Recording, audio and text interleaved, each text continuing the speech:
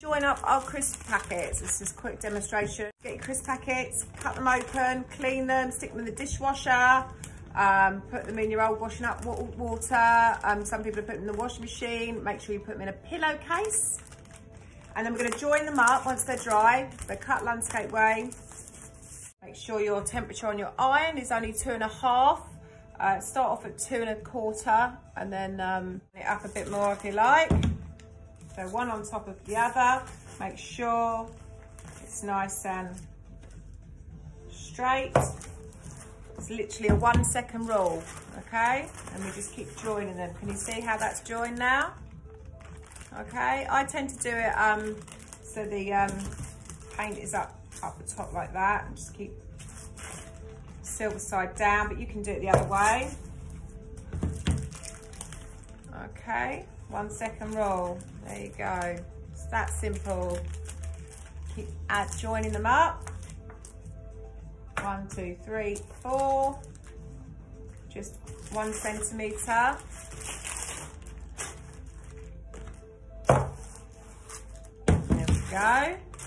And I would get 11 of these for survival sheets. 11 of these, there's four long and 11 of these, and then I would start joining them up. So I've got three already joined up over there, and then I can show you how to add them together. Three, okay, that are added together. And so just keep adding one to your grid. So make sure you start in the middle of your grid, okay? Try and just try just to iron your the line rather than the whole crisp packet. Start in the middle, iron that bit, then go to the right or the left, wherever you feel comfortable. Do that one. Because if you don't do it in the middle and you do it at the end, um, it might tilt. And so when you get down the other end, it's not joined together. Okay, okay.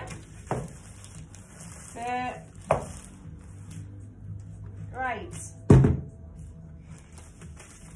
keep going until you've got 11 long. So this is four by um, four at the moment. So just keep going.